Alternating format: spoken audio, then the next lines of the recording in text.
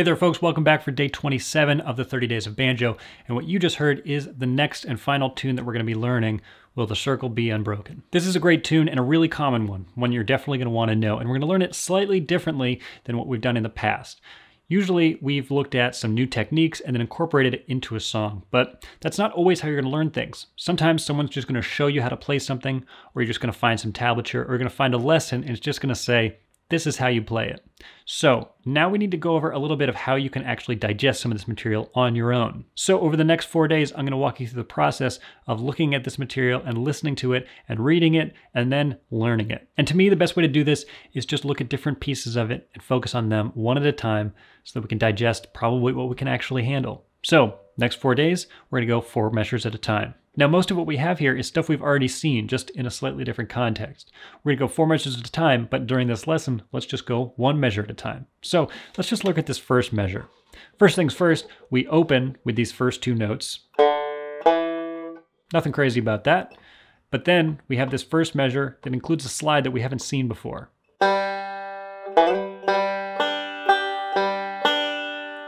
Let's break this down into how I'm actually looking at this. We've just got that first individual note, G, right, on the third string. Great. Then we've got this slide. But I'm thinking about this slide as being part of two forward rolls. Notice how after that first note on the third string, we've got thumb, index, middle, thumb, index, middle. We just include that slide. Thumb, index, middle, thumb, index, middle doesn't happen necessarily on those strings, but that's how I'm thinking about it at first. Then you can correct to have the right strings in there.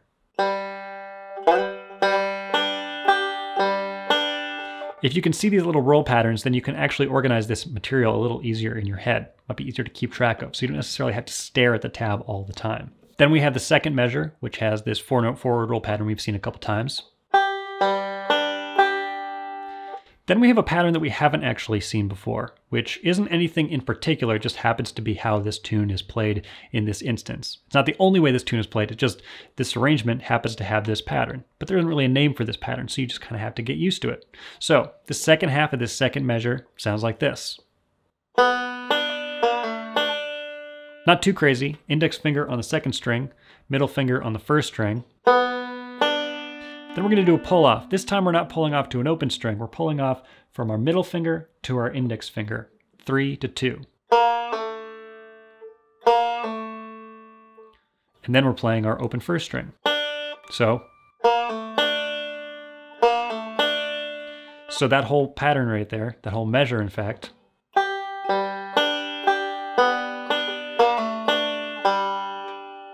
first note of the next measure. So let's play those first two measures of this section.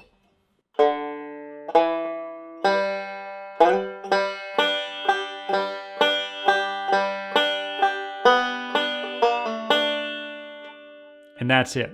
Even though we're to go through the next two measures in this lesson, I would still just focus on the part that you can handle. If that's just those two measures so far, then great. That's all you should do. Once that's comfortable, we can move on. This next measure has material we've definitely already seen before. It's just a single note and a pinch. Followed by one of our slide licks that we've seen before. So all together, that's... Great, no problem. Then we've got another pattern that's not quite what we've seen before, but actually these two measures in context kind of make sense. So if we look at just that last measure of this first line, then we end up with index middle, then this forward roll, then kind of this backward roll, with a pull off in there also. So that can be a little bit confusing. It doesn't necessarily look like something that we're totally used to. But what if we look at those two measures in context? These are the last two measures of that first line.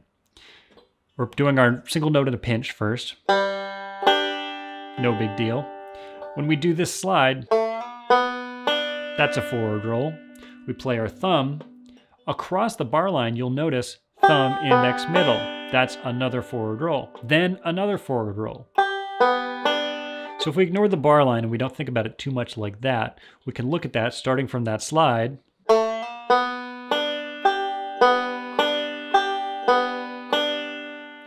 Then we just have a backward roll.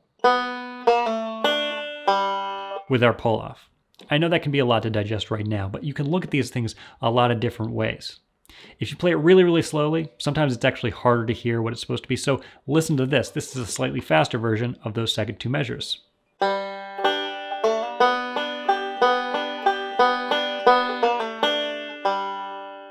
So actually, you can kind of hear that, that that makes a little bit more sense, I think. But in order to actually play it, you have to go back down to the super slow speed and do it that way. So that's the first four measures. That's already a lot of material.